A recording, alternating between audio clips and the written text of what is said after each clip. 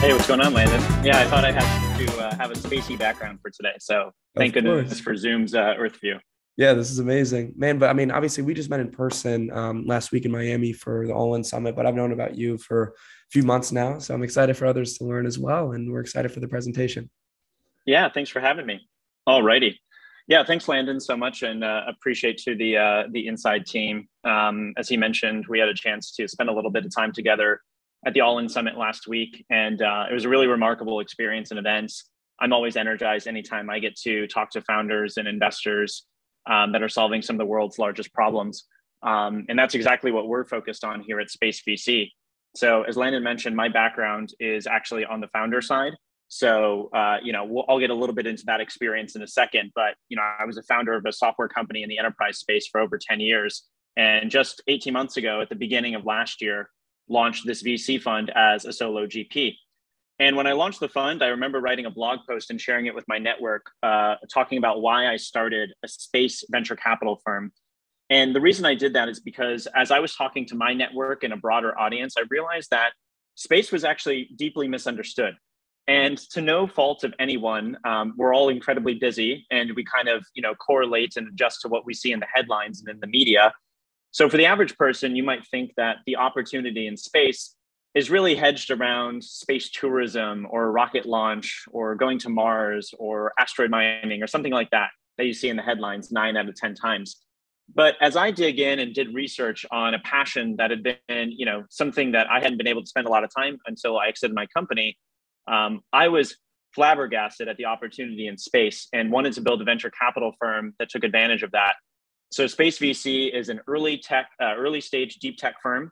We invest in software, infrastructure, information technology, and climate technologies that are at the intersection of space. And one of the reasons we did that was also a timing component.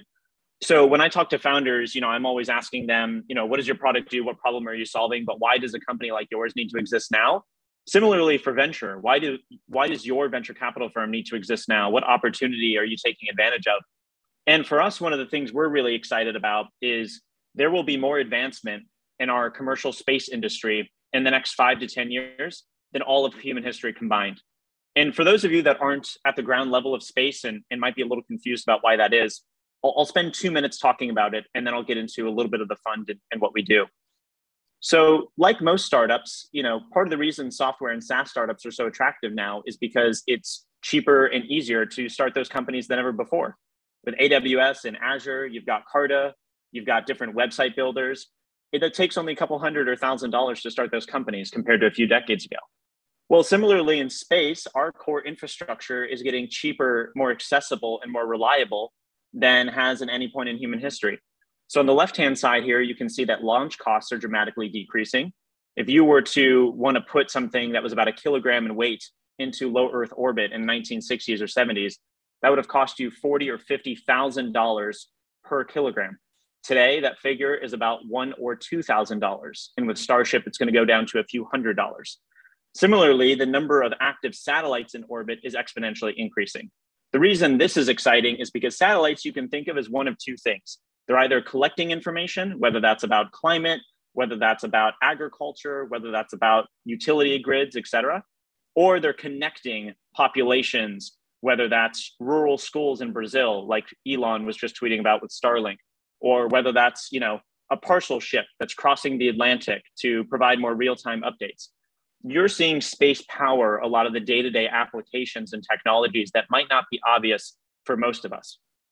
And so that is the crux of our thesis at space vc we're not investing in science projects. We're not investing in things that aren't venture investable like you know uh, mining on uh, the, the, martian surface or or asteroid mining or, or things that are decades away we're investing in technologies that leverage space to make life better here on earth and as a part of that, I think almost every one of our portfolio companies has a B2B or an enterprise angle.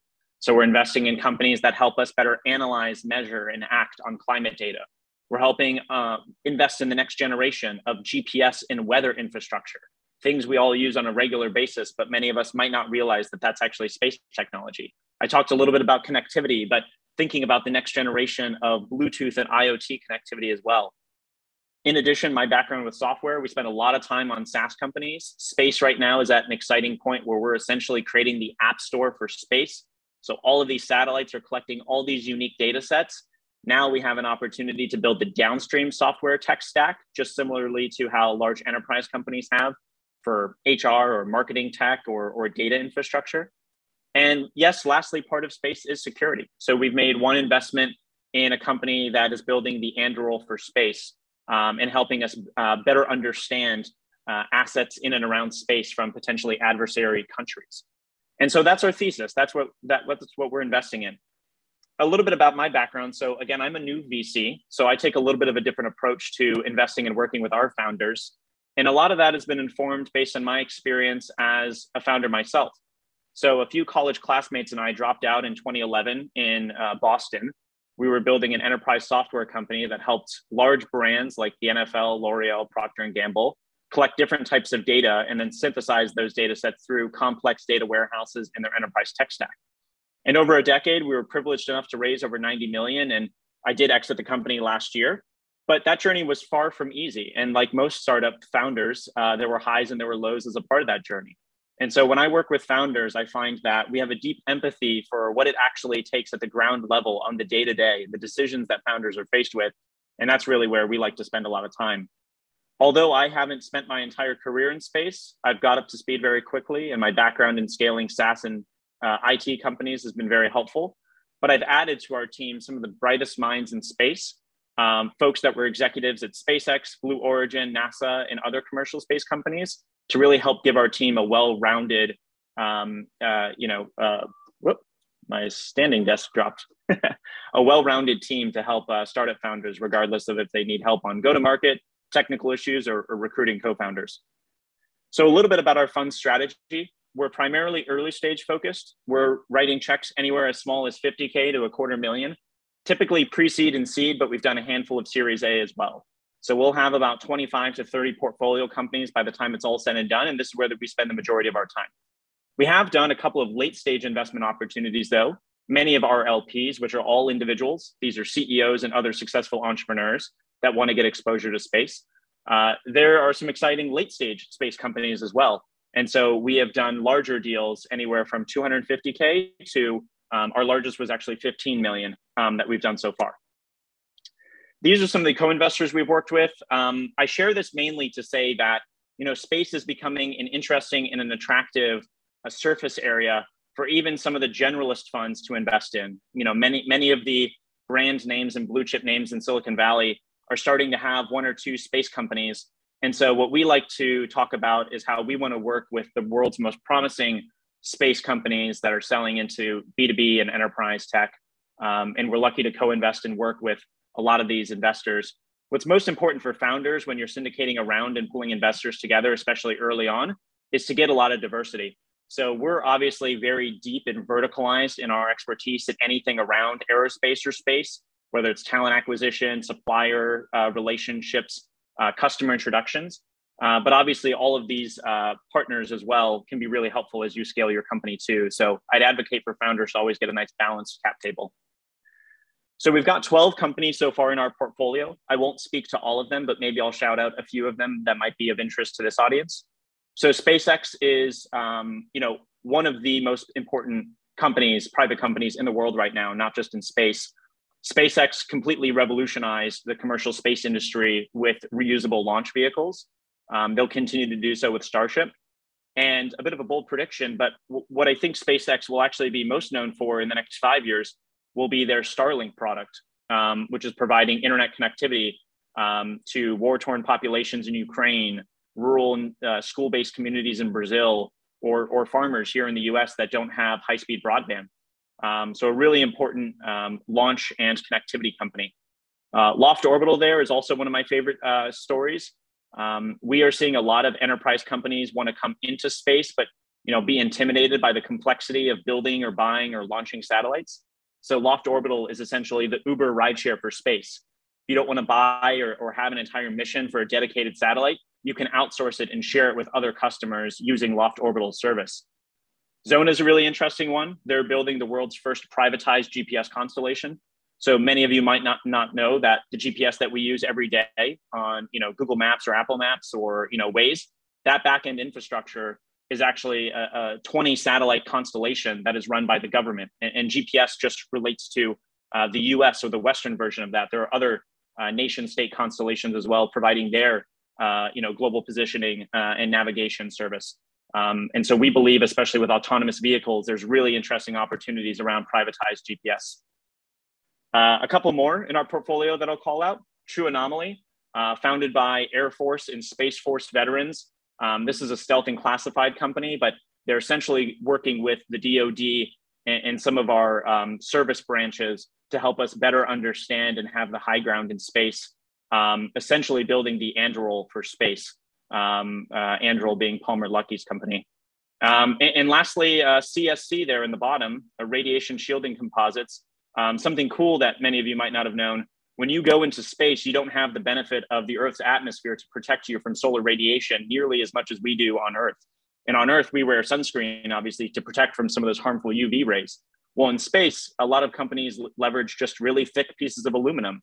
And uh, CSC has actually created a new composite, uh, a, a, new polymer composite to replace aluminum that's lighter and more effective uh, and, and more sustainable for the environment. So those are some examples of some of the companies that we've invested in. Uh, Loft Orbital, again, we've only been investing for about a year and a half, has been one of the early breakout companies. And I'll share this because it, it's important to know that whether you're building a company in space or elsewhere, um, the headlines about how much capital you raise is nice, but it's really about customer traction and the business you're building and the fundamentals. And so uh, Loft Orbital was lucky enough to raise a large round from BlackRock last year. But what I was more excited to see was earlier this year, they uh, announced a new customer, uh, Earth Daily, um, which is a $150 million contract for them. So for a Series B company, that's really exciting and, and kind of shows the opportunity around that um, uh, hosted payload Uber rideshare uh, business that they're building. So this is my last slide. Um, a lot of what I try to do as a VC and what we try to do as a firm has been built by the experience that I've personally had pitching to other VCs and raising almost 100 million in venture over the past decade. And I can say I've had some great experiences and I've had some terrible experiences in working with venture. There, there's no one size fits all. And so what we try to do uh, with our fund is just be really self-aware of where we can add the most value and what the founders that we're working with need on a daily basis. So sometimes that's simply just founder empathy. They're going into a boardroom. We typically don't take board seats and they just want to talk about the strategy going into that meeting or some tough questions they might be asked. We're the call that founders make when they want to ask a, a question uh, and they don't want to be embarrassed by it because it's their first company that they're building. We obviously have a ton of connections in and around space. So even if you're building a software company that takes climate data and you're not putting anything in space, we work with a lot of companies like that to help them recruit that next executive, help close that next deal, um, or maybe even uh, you know work with different suppliers or vendors if they need. And lastly, one trend that I'm seeing that's really interesting, especially for first time founders, is VCs stepping in and helping their founders raise their next fundraising round. Obviously, this is what we do all day is talking to other VCs and understanding the capital markets. And so um, it's something that we at Space VC are spending more time doing is helping our founders raise their next round, bringing in the right partners that we think will, will help them in the next phase um, and, and add strengths to maybe where the company is weak currently. So that's a little bit about us, why we're bullish on space and uh, climate and infrastructure and software around it. And here are my contact details if you want to reach out. Uh, DMs and, and inboxes open. Jonathan, that presentation was astronomical, no pun intended. Thank you so much, man. I really enjoyed that one. Love the pun. that was a shitty joke. I'm sorry. But um, okay, so let's get to some of my questions. Um, so obviously, I think there are probably a lot of assumptions that are made about space and the specific work that you're doing. People probably think that you're only investing in rockets, uh, but no, you really spoke about the intersection of space. So there are a lot of other sectors that fall um, within that. So you invest in software companies, as you just mentioned, climate, commercial, military.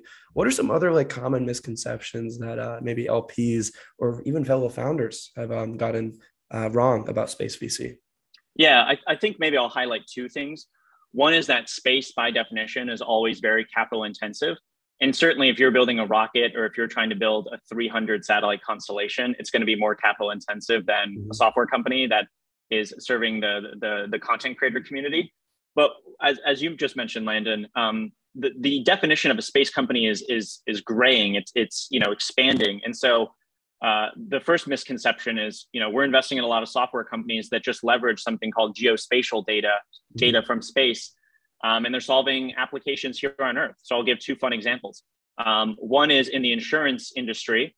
There's a lot of insurance companies that when there's a wildfire or damage to your home, they want more real-time insights to the state of your home, what got damaged, imagery, et cetera, so that they can immediately file a claim. So you don't have to go through a multi-month process. Well, you can use drone and aerial and different satellite uh, image data sets to actually do that in real time. So we're working with software companies that provide something like that. So that's just one misconception about when we talk about space. There's actually just pure software companies that are leveraging geospatial data as well um, to disrupt certain business models. I think the other thing that we don't think much as much about is the role of government in in industries like space. And what we have seen is government from being the sole customer or trying to build it themselves to enabling commercial companies to be successful. And we're a big fan of that public private partnership because we think companies like SpaceX and others are, are, maybe a little bit more apt to be able to build rockets at a fraction of the price compared to when you know government tries to build that itself. And so uh, we're a really big fan of the public private partnership we're seeing across the board. So those are a few things that um, maybe uh, aren't obvious unless you're in the space industry every day. Totally. And as for the company that you guys are um, receiving deal flow on, we have a wonderful question from Megan in the audience. Um, what stage are you guys focused on? Is it seed, Series A, um, and also check size that you guys are writing? Yeah, so I'll share a little bit of insight. You know, when we start a VC fund, we kind of have a focus of we're going to invest everything from pre-seed to Series A. But then, based on what deals we've actually done, we have to kind of calibrate because we have a certain portfolio construction that we're trying to achieve. So right now, to answer your question, Megan, I would say we're really focused on pre-seed and seed. So anywhere from a couple of founders, pre-product, pre-revenue, you know, just an idea and presentation. We love being the first check-in, all the way up to maybe you've done a, you know, an initial mission or you have an MVP and you're signing your first couple of customers. Um, that's a good phase for us to jump in and be part of the journey.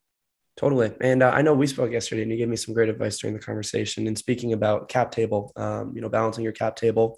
Um, and specifically, you were saying that you want a good mix of like large funds and smaller funds. The larger funds are going to offer, you know, the greater network um, of other companies that you can be able to, you know, collaborate with um, and also create deals with. And then the smaller um, funds, you know, will give you that expertise more or less. I'd love for you to kind of explain that and break it down a little more uh, for our audience of founders.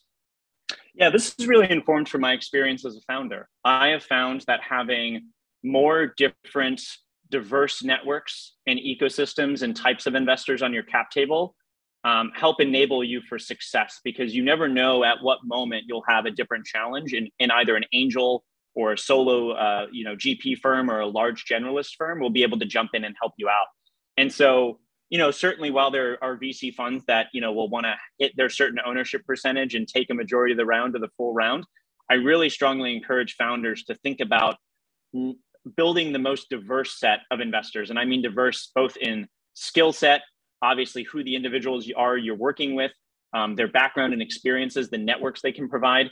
So as an example, you know, when we're investing in companies, a lot of the times they may have one or two deep tech investors on their cap table like us then they may have a larger generalist fund that could obviously follow on for a large Series A or Series B, which our fund, you know, that's not how we're built today to do that. Um, mm-hmm. and then they have strategic angels and advisors on their cap table too that could be great for talent acquisition or customer introduction. So I always view VCs that you bring on as adding to the collective strengths and weaknesses that you have internally as a team. So always just being really honest about what those strengths and weaknesses are in trying to find VCs in addition to the capital they provide, but that can add some sort of value where your team is a little weaker. Um, that's the ideal scenario.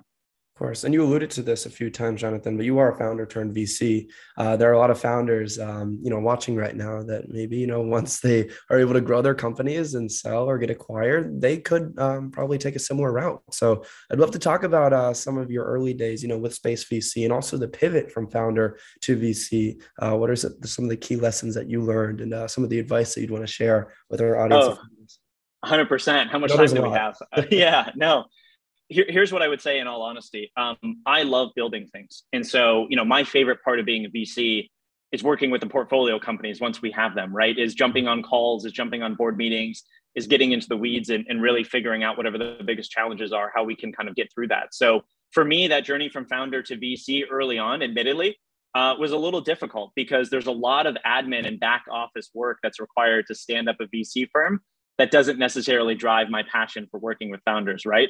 Um, one of the things that I was also surprised by, maybe this is just my personal experience, but I thought as a founder with a successful exiting company, you know, to a certain extent, that jumping into VC would be super easy. Um, and, and, I'll admit it was a little bit more difficult than I thought. Obviously, I made a lot of investors' money on my first company, and they were quick to write a check. But you know, I I was poor as a startup guy for ten years, so I didn't have money to angel invest or anything like that. So what I would say is, if you're thinking about jumping into VC, just like when you're a startup founder, you're going to get a lot of no's. Just work through that, right? Find the people that believe in you and your vision and your ability to execute. Um, and if you're really interested in being a VC, you know, maybe an in between step that you could do is to syndicate deals through an SPV or write really small angel checks for a period of time. You know, I was lucky to write a couple of angel checks into some great companies like Stripe and SpaceX and BlockFi, but those were once they had already raised, you know, Series Bs, right? They weren't early days, and it was when I, I got a little bit of capital. So um, yeah, if you're able to write angel checks, great, but don't let that dissuade you from just going forward and launching a fund. Uh, running a VC fund is like running your own startup. You have to think about your customers, your go to market, mm-hmm. what your unique competitive advantages, et cetera. Um, and so I love building a VC fund. Um, it's very similar to building a company, but just in different ways. Uh, which one has been more fun? Is that a mean question? Are you able to pick one or? Uh, it's not mean, it's just different. So sure. I'll be totally honest. Being a VC, I, I find to be more intellectually invigorating. You talk to founders solving dozens of different problems across a very large surface area. So, you know, I jump from meeting to meeting, and one company is building the next version of a private GPS constellation. The next call I have, someone is trying to mine this the lunar surface for the ice caps to create helium three, like rocket fuel. Like you're learning constantly as a VC. If a VC tells you they know everything, they're lying. Like our jobs professionally is to learn and jump across those surface areas. So that part of it is really exciting and maybe tapped into something that as a founder I didn't. But at the end of the day, the founders are the ones building. We're just here supporting you and, and providing capital and advice and making connections when we can. I can't do the work for founders. And so there's a part of me that always loves building. And so certainly there's that uh, adrenaline you get from being on the builder and founder side as well. Totally. We have a wonderful question from Carter Russ in our audience. And also, guys, please bring in more questions. This guy invested in SpaceX for crying out loud. Um, so, how do you guys value deep space companies, knowing the long term risks associated with each investment, uh, long horizon to fully realize value proposition? Yeah, it's not too dissimilar from how you might um, value other companies that are, are, are, pre-revenue. You know, I think for a lot of VCs, you know, we're investing in a lot of software. So 10x, you know, revenue or, or ARR is kind of like the standard for a lot of software investments. Mm-hmm. In deep tech, to be honest, what we're seeing is most pre-seed deals are getting done, you know, under 10 million or 15 million valuation. Some seed deals, depending on how much they are are raising, will get done anywhere from, you know, 15 to 25. I'll call it maybe 10 more recently. Uh, but really, what we look for when we're making a decision, either on valuation or investment, especially in space as a thesis driven fund, is we really want to understand the end market that you're selling to. So, what a lot of the time VCs will do when they're valuing a startup is try to understand and evaluate the TAM, the total addressable market that you're selling into. That's even more important in, in a deep tech industry like space, where there might be a lot of capex required up front. So, when we think about our valuation models, it's both a combination, Landon, of how much capital do you have to raise early on to get to cash flow or a revenue generating event, and how big is that addressable market um, that you're going after, and obviously what milestones are you currently at, and the team and it's a little bit of a confidence factor too in terms of, of how big you can build. But uh, we're generally in that you know valuation range that I shared uh, for for deep tech early stage space companies. Totally. We just had a question come in that um, you know what do you look for in a pitch? You kind of broke down a few of the things there. Um, we can kind of flip the question though. What don't you look for in a pitch? Well, let's see. Um, maybe, maybe I'll just answer the question around what I do look for in a pitch because I think it's actually not too dissimilar from what other VCs look for. Mm-hmm. You know, early on when you're pre-seed, it is all about the team. It's all about the vision and it's all about your ability to articulate that and to understand the end problem that you're really pursuing. So, for me, the most important thing when I have my first meeting with an entrepreneur is to learn about the person, understand as a former founder that went through the startup journey, do they have what it takes? Do, do I assess they have what it takes to kind of make it through the most difficult and through you know the best times of, of the startup journey? What's their level of understanding of the market and the problem they're trying to solve and do they have the right approach and to be honest, understanding those three things are by far the most important before we do technical diligence, before we understand if they have customers, what the revenue composition is. All of those other things are secondary in my mind to that. So, you know, maybe that answers a little bit about what we don't look for early on. Um, but certainly, you know, for early stage deep tech companies, the biggest difference between them and early stage software companies is their growth trajectories are just a little bit more flat and slow early on before they mm-hmm. scale, right? It takes more time to develop those technologies. So, you know, we're not necessarily looking as much at recurring revenue and and you know what your net retention rate is and what your you know upsell expansion motion is or product usage early on. What we're really trying to understand is do you have your supplier contracts aligned? The things you're trying to do in space, is there space heritage? Has someone done this before? How de-risked is this technology? Have you assembled the right team to do it? Uh, in space, there's a lot of LOIs, letters of intent. We want to understand are those binding, right? These customers, they say when you deliver the product, how much tens or hundreds of millions of revenue is there potentially to close immediately? So it's just a slightly different motion to market. And those are the things that we look for. Awesome. Uh, we have another fun question from Megan in the audience, and we can take in two more questions. Uh, Go, Megan. Two questions. I love it. Yeah. um, top five to 10. That's a big number, but top five to 10 traits you look for in founders that you think can go the distance and maybe pull from your personal experiences as a founder and, of course, the founders you work with today. Yeah, I, I, would say one of the biggest things I've learned from being a founder and now being on the VC side is that you can have successful founders be from all different types of backgrounds. So there's not a one size cookie cutter, like these are the traits you need to have. So I would say whatever your strengths are, the most important strength and, and like trait is to be self-aware, self-aware of what your strengths are and to build a founding team around that. However, common traits amongst founders that are successful, you know, certainly they have deep passion for the problem they're solving. Startups are too damn hard to pursue it unless you really have a deep passion for it. So if you're getting into it for financial reasons or or external validation reasons, it's usually not a good reason. So I want to see the passion. Mm-hmm. Um, you know, usually there's a lot of determination and persistence as a part of it. The startup journey is difficult. So, do they have traits that lead you to believe that they would persist when times get tough? Uh, a lot of founders are great collaborators and communicators. They need to be able to um, communicate to investors, to customers, to a team what the vision is, what the challenges are they're trying to solve in good and bad times, and similarly collaborate with other different, uh, you know, strength people with other different types of strengths and weaknesses. So those are some of the most important traits I would say we look for in uh, in founders.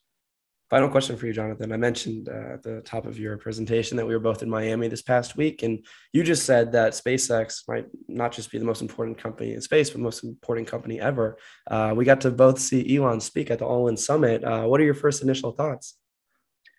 Yeah, Elon's great. Um, I still don't understand quite how he spends his time across all the companies he's working on. I think that anytime I, I you know, in, in around him or hear him talk, I think that's always you know the thing that blows my mind the most. Mm-hmm. I think as it relates to SpaceX, you know he he talked about it a little bit at the All In Summit.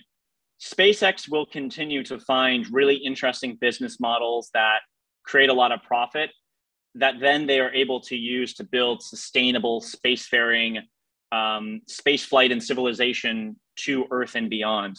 And I think that's a really interesting mission for a company that I've never really been a part of outside of SpaceX to have such a lofty mission like that, you know? And so, regardless of what your personal views are about whether humans or infrastructure should go to Mars, will that happen in our lifetime, et cetera, I'm kind of of the belief of it's going to happen. There are enough smart people that, you know, and the technology is there, by the way, the technology is there to do this within the next decade, that it's going to happen. And I think for us, it's really a question of how can that make life on Earth better? You know, what optionality does that give us? What can we understand about our climate better to make you know life more sustainable here so uh, yeah it's a really interesting journey that they're on and uh, uh, you know candidly i think you know the next 10 years for spacex are dare i say it even more exciting than the last 10 which is hard to fathom so Totally. And our producer, John, um, just mentioned something hilarious on the Zoom chat because he's actually using Starlink to produce this event. Hell um, yeah, let's go. we thank Space VC and SpaceX for allowing us to produce this uh, event virtually. So thank you for recognizing the importance of Starlink and, uh, of course, making your awesome investment in uh, SpaceX. Absolutely. Yeah, thanks for having me. And I would just say, anyone that's doing anything, um, you know, even adjacent to space, whether you're you're in climate, whether you're in deep tech, broadly speaking, um, you know, feel free to reach out. We want to be as helpful as we can. So thanks for having us, Landon. Jonathan, thank you as always, man. Really appreciate you. We have Dell for Startups. So they are here for you. They are one of our amazing sponsors at Meet Our Fund today. Dell Technologies is passionate about supporting startups and making sure they have all the knowledge, resources, and of course, technology they need to make their dreams possible. Um, please feel free to check out uh, the latest tech from Dell for entrepreneurs and reach out for exclusive discounts for entrepreneurs. Um, give them lots of love on socials and the chat. Um, I would like to invite YJ Lin from Dell for Startups. Hi, YJ. Hi, Stephanie. Really excited to be here with y'all today. I'll introduce a little bit about myself. I'm a senior program manager here at Dell Technologies. Um, what that means is that I work with startup communities all across the US to figure out how we can support startups and entrepreneurs. And Dell being a very big company, we have a lot of resources, we have a lot of initiatives, and today I'm here to present them all to you. So, kind of starting off, why are we doing this? It kind of goes back to Michael Dell's stories um, back in 1984 when he realized that no other computer company at his time was creating customized solutions for people. So, with only a thousand dollars in startup capital in his um, dorm room at UT Austin, he decided through cutting costs, reducing delivery times, and figuring out how to provide excellent customer service, how he was able to uh, sell $80,000 worth of systems back then after his first year. And then four years later, of course, he dropped out of college and um, went public. And so, where Dell Technologies now is, we have a lot of these different partnerships, whether that's with Microsoft or Intel or any other Dell companies under its umbrella to support you in every single aspect of your IT infrastructure. So what that looks like for y'all is that you have dedicated program managers with entrepreneurial experience. Um, my manager himself has a, a, coffee distribution business back in Argentina. I started some of my businesses in commerce and developing patents for my university. We have a lot of uh, talented people with entrepreneurial experience that is here to help you and kind of understand how Dell scaled to where it is. But more importantly, try to figure out how we can service all your technology needs. What that looks like is we have over 600 startup IT advisors across Nashville and Round Rock that's more than happy to be on the phone with you to answer any questions that you have. Anything from, you know, what software do I need? What type of hardware should I be looking for? What type of processing power or video card do I need if it's needed at all? And they're here for you to answer any questions that you have. So instead of hiring your own IT person, um, these are questions that we're more than happy to answer for you so that you can do your own research or like Stephanie said earlier, if there's something that you guys do need, we're more than happy to help you guys save some money. What that means from us, knowing that you guys are a startup entrepreneur, that we also have technology planning consultation. So what that looks like is that we have an OEM team, and this is not a big or not as well known as as they should know um, should be, but what they essentially do is they work with any startups or large corporations that are looking to develop a hardware solution. In fact, a lot of MRI machines at hospitals actually have um, you know Dell chips inside of them. So if you're developing a hardware solution and need help from an OEM manufacturing side, we're more than happy to get you in touch with some of our engineers to figure out how we can help you with that as well. If you guys do need anything, of course, helping you guys with financing rewards and then we also have an offer to give you free remote data migration so that if you're uh, refreshing your office with uh, newer equipment, hopefully that will be a more seamless uh, transition. What that also looks like from a membership perspective is that we're constantly on the road. So offering free co-working space in San Francisco, I might just take you up on that lane. But um, what this looks like is that you know we're constantly sponsoring. We love to invite you out. So if you join our platform, anytime we have additional tickets or anytime we're going to be at a um, you know local city near you where we're hosting an event, we'd love to invite you. We're also launching a pitch competition. We're spending half a million in prizes and products uh, this year with 12 different startup communities all across the US. This will be a accumulation of 16 pitch competition total. But if you're interested in learning more about what that pitch competition is or when we'll be in your city, definitely reach out to us and we're more than happy to get you added on our distribution list. Next, what that journey looks like. Well, honestly, just get in touch with us. We love to learn more about what your business needs are. Tell us about what you do, what made you passionate about developing this product. And I'm more than happy to get in touch with anyone at Dell that can support you, whether that's our corporate innovation group, whether that's our Dell Tech Ventures team, or whether that's one of our advisors that can help you with technology needs. We're happy to get in touch with our team to figure out what type of resources are available here for you. Because at the end of the day, skipping ahead a little bit, on step five is we love to get you in touch with our media companies that we work with to share the story of how we're both driving human progress. The way we do that is by having that relationship with one of our startup advisors. And like I mentioned, it's free.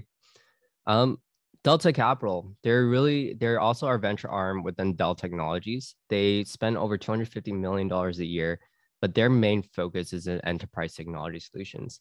So if you're a startup in any of these categories, DevOps, data management, AI, ML, cybersecurity, cloud infrastructure, feel free to reach out and we're more than happy to get you in touch with them.